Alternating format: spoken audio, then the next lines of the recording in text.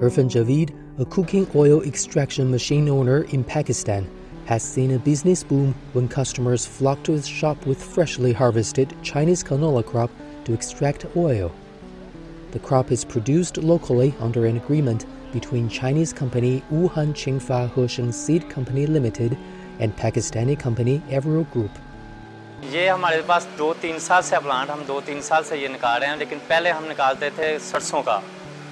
इस बार हमने ये यूज़ इस्तेमाल किया है कनोला मीर का कनोला मीर है ये इसका हम तेल ज़्यादा इस्तेमाल कर रहे हैं ये यूज़ भी काफ़ी ज़्यादा हो रहा है Pakistan consumes around 5 million tons of cooking oil every year, but the country has to import most of it.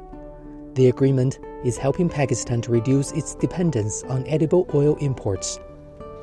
Besides, as the Chinese hybrid canola has a high profit margin, it has already become popular among Pakistani farmers. ہمارے جو پہلے زمیندار لوگ تھے انہوں نے پہلے سال کچھ کاشت کیا۔ انہوں نے زمینداروں نے پھر اس سال ہم سے زیادہ بیج لیا ہے۔ ہم نے کمپنی سے بھی زیادہ لیا ہے۔ جی انشاءاللہ ہم کمپنی سے زیادہ لیں گے۔ ٹھیک ہے کیونکہ ہمارا کسٹمر پہلے سال سے اس سال زیادہ تھا۔ اگلے سال انشاءاللہ اس سے بھی زیادہ ہوگا۔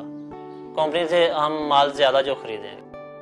محمد عظیم team leader of Evyol Group in Gujranwala, said that the Chinese variety has already helped Pakistan secure bumper harvest this year, adding that his company will continue to work with its Chinese partner to better localize production of the crop.